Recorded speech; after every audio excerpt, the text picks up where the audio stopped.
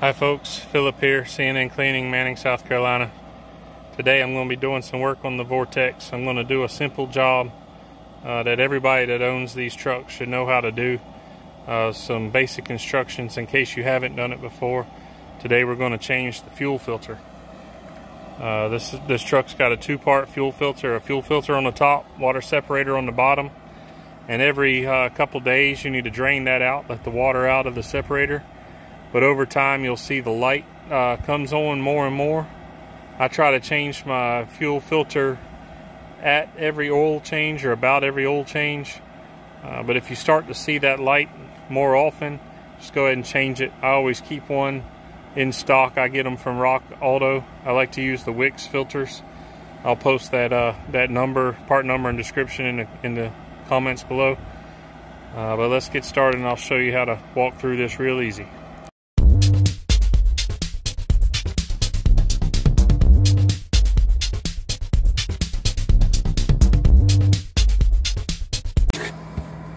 Alright, so now we're up under the UD on the passenger side, directly behind the fuel tank.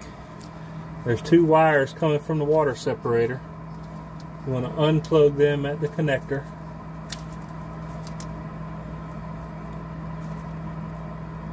There's a little thumb clip.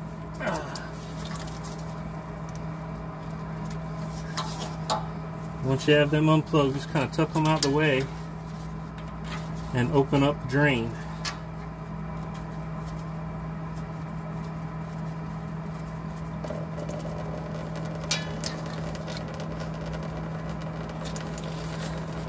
I'm to let that completely drain. As you can see, I got a old drain pan on the ground. While that's draining, let's cover a few things you'll need to have. So I got a Wix filter here, number 33788. I'll put a link in the description. You could get these from Amazon, uh, wherever you buy your filters. Inside you have the fuel filter, of course and you should have a new o-ring. In order to change this out I, I, like to use this ginormous pair of channel locks. I picked these up at a tractor supply. They work well. You can use an old filter wrench and then a slightly smaller ginormous pair of channel locks. So those are the tools I'm going to use to pull this off. Uh, you can also get the one-piece filters and water separators that are connected at the bottom you have to run a little tap to put the two sensors in. I wouldn't recommend it. I would stick with the Wix two-part filter. It's way uh, way better and and they're not that expensive. I think I paid 10 or 12 dollars for these. Uh, so we're still draining, but I'll give that just a minute. We'll be right back. So as you can see, we're uh, just about dried out. The drain stopped. So I'm gonna get ready to drop this filter. I always like to close the drain once it stops, just so I don't get any on me.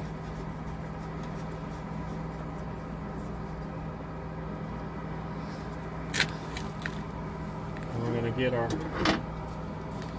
giant pair of channel locks or your old filter wrench, whatever you might have. And just twist that off. It should be, once you get it started, it should unthread fairly easily.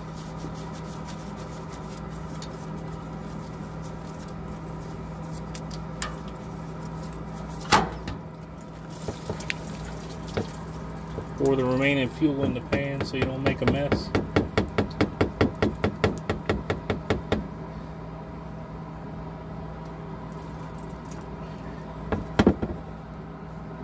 When it stops dripping, you can just pull the fan out and we'll get to changing the bottom half. All right, with the filter off, we're just gonna spin off the uh, water separator.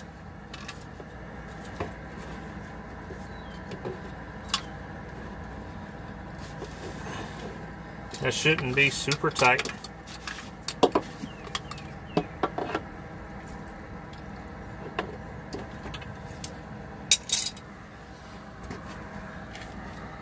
That's what the inside of the water separator looks like. And this ring is what senses the water level and tells you you need to drain it. So now we got our new filter.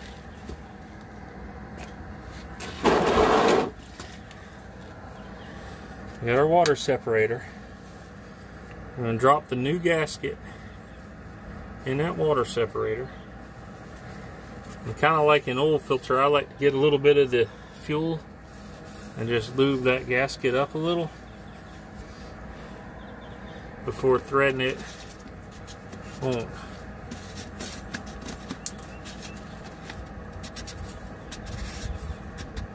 Make sure, I'm trying to make sure threads are straight before threading it on tight.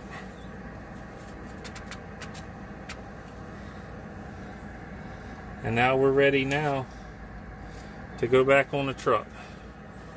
Top gasket, I make sure it's seated. And I like to do the same thing with it, move it up a little. And before I spin it on, I'm gonna switch the camera around, but before I spin it on, I'm gonna fill this filter up with fuel, as full as I can get it without making a mess. So I'll be right back after I fill this up. So now we got our filter full of fuel. We're back under the truck to spin it in place.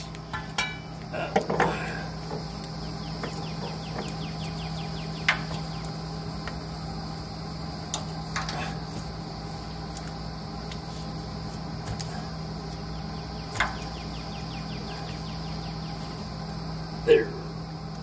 Much like an old filter, you don't want to go too tight. plug in our sensors.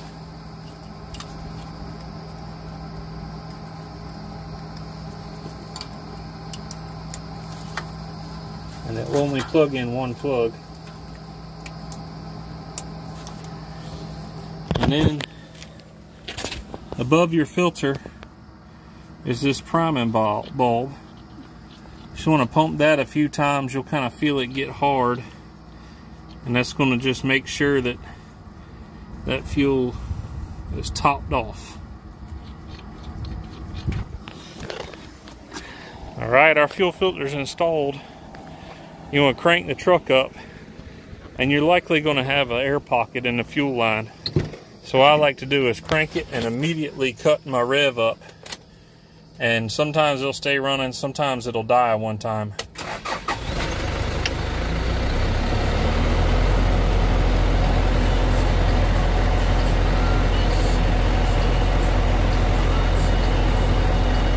that's my my coolant level sensor's going of course as it always is.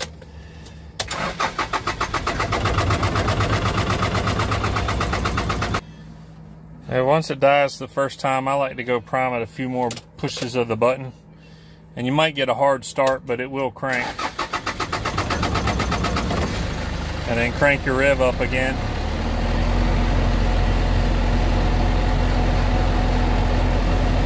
And just let it run five minutes, 10 minutes or so, and you'll be good to go. So that's changing the filter. This is a 2007 UD. They're all very similar. I'll put a link in the description to buy the filter. You should be doing this roughly every oil change or anytime you see the light uh, more often than every few days. You should be draining it. Uh, the manual says every day.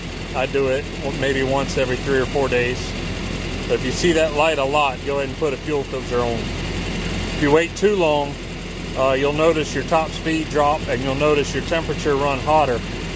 Uh, and that's when you've waited too long and you really need to get a fuel filter put on. Uh, so that's your quick, UD, uh, quick Vortex tip of the day. If you're driving one of the UD machines on how to change your fuel filter.